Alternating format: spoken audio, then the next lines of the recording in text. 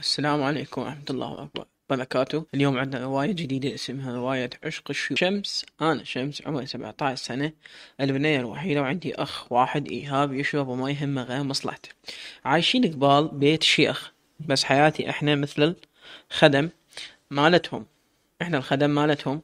أحيانا أساعد أمي بالحديقة لا أكثر. أسد أنا الشيخ أسد دارسين دارس هندسة نفط.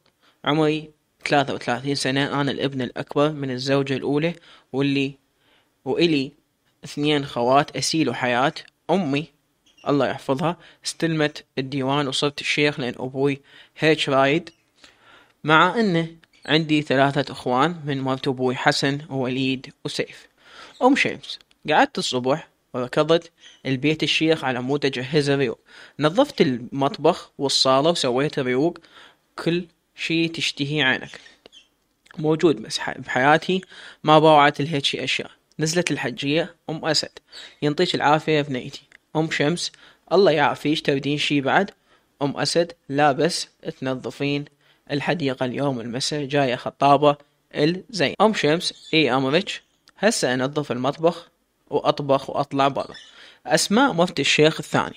شو تسوين هنا؟ يلا للمطبخ. أم شمس تأمرين. أسماء. إي والله. شمس قعدت الصبح نظفت البيت والحمد لله إيهاب ما موجود. والله قعدت وأكلت. بعدين قمت سبحت ووقفت أباوع على باب بيت الشيوخ من الجامع. إجت ببالي أمي شلون يومية تتعب وش يصير لو أنا؟ إيهاب كان فعلا سند إلنا تنهد وقعدت أبكي شيخ أسد ها قول وائل شلون الشغل وياك؟ وائل الحمد لله شيخنا بس العمال يقولون لو تزيد رواتبهم شوية.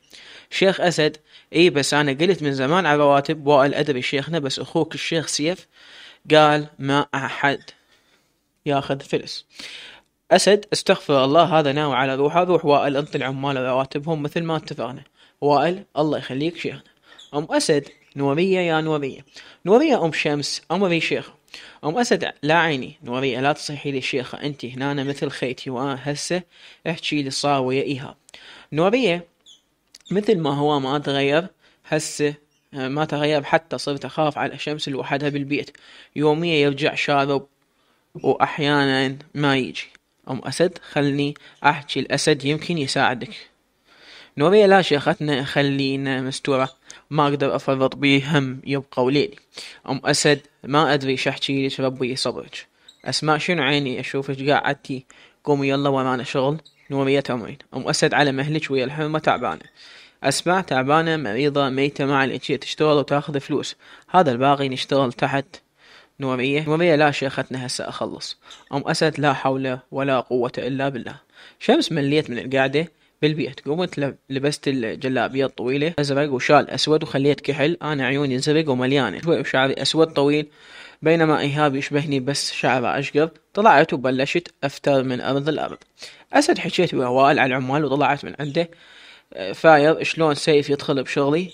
رحت بسيارتي للبس... بسيارة للبساتين. مالتي ولم وألمح بنية طبت جوا البستان. منو هاي؟ شو تسوي؟ هنا.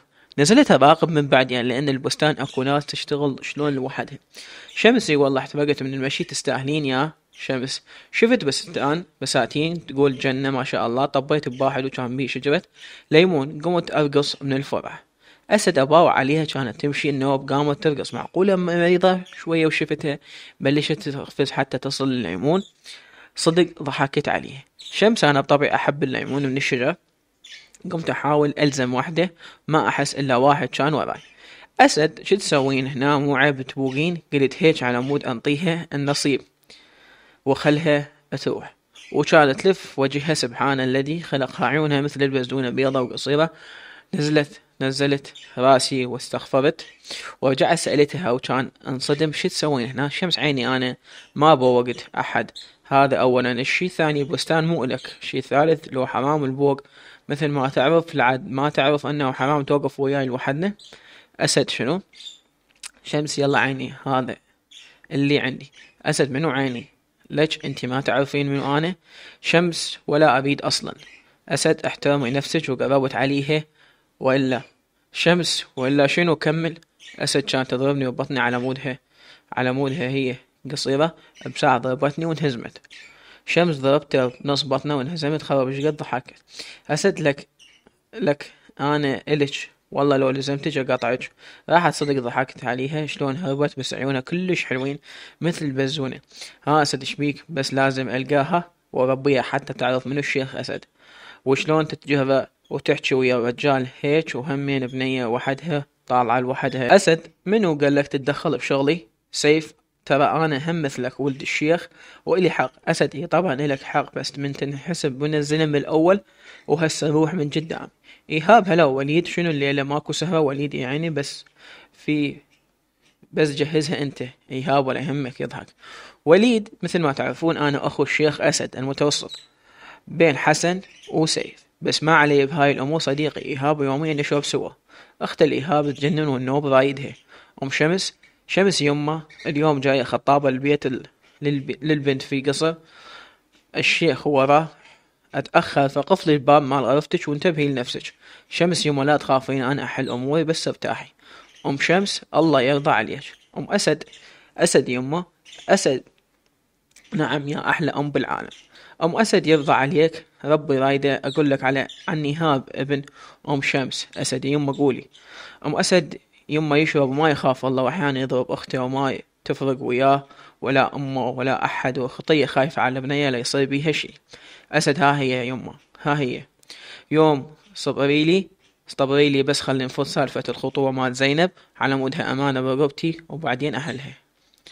أم أسد إي والله والحمد لله وليدي مثل أبوه وأبو نخوة والغيرة. أسد إي طبعا يوم. أم شمس إجوا ناس وهم شيوخ راغة. وش والكل فرحان كانت الأجواء كلش حلوة بس ما أدري أحس راح يصير شي. إيهاب تفضل وليد. وليد ها ها وهي قعدنا. إيهاب شمس يا شمس. شمس ها. إيهاب وجع يخ يخلع وجهك. روحي صبي شاي. وليد لك الله فدوى صوتك بقلبه. وليد ظلينا نشرب أنا وإيهاب حتى غفلت ويانا قمت دقيت باب علي هد باب غرفته. شمس كالعادة إيهاب يشرب وصرع راسي روح يسوي صبي صوتهم بس بالأخير سكتوا. قلت يمكن راحوا فجأة الباب يندق من وليد فتح الباب لا تخافين. شمس بديت أصيح وأهدد واصرخ الايهاب ماكو مجيب. إيهاب يمه. وليد لك؟ أنا اريدك زوجة إلي شمس انقلع من هنا. وليد كسرت الباب عليها شنو من جمال خصوصا العيون. شمس شو تسوي؟ اطلع برا وكان رايد يلزمني انهزمت من الغرفة. وليد شنو وين راح تروحين شمس انهزمت بالمطبخ وظليت أصيح بس ماكو أبكي وحاولت وحاول يكتم صوتي بس أبد. وليد تدرين أنا أحب البنت القوية؟ شمس كان أكو سكينة على الميز مال فواكه. وليد شنو؟ يلا وياي. شمس ما أروح وياك روح لوحدك. وليد لك وين أروح؟ يضحك. شمس الشفن ما يشيل اثنين خليت السكينة بقلبه. وليد آخر شي حسيت السكينة غرس بصدري وشفت كل جسمي دم. شمس القاع كلها دم وأنا دم. أصيح أريد أمي طلعت من البيت أركض أسد كنا قاعدين بالديوانية سمعت صوت صياح. شمس ركضت لبيت الشيخ وكانوا الحرس على الباب. يقولوا لي ما يصير وانتظري. ظليت أصيح والحرس لزموني. يما ردي علي يما باع صار بيا يما؟ وينك؟ أسد طلعنا ننقض الباب وكان أشوف بنية شعرها منقوش وتبكي ومدمية وظلت تصيح أسد لا أحد يباوع شبيكم عبد؟ الحارس عبد أمرك شيخ. أسد دخلها للبيت بساعة. أم شمس؟ شمس. شمس يما اختنقت يما وتبكي. أم شمس لك سودة علي بنيتي صار احكي لي لا تبكين يما. شمس يما قتلته يما أنا مجرمة أم شمس شو تقولين يمه قولي إيش صار شمس تخربطت وأخذوها للمستشفى. أسد حسن ها حسن ها أخويا. طبعا حسد اللي حسن اليد اليمنى للأسد. شيخ أسد أكثر من اخوه يحبون بعض. هواي. أسد حضر الزلم ويروح البيت الحمى ونشوف إيش صار حسن أمرك. حسن أخذنا الزلم ورحنا للبيت وكانت الصدمة.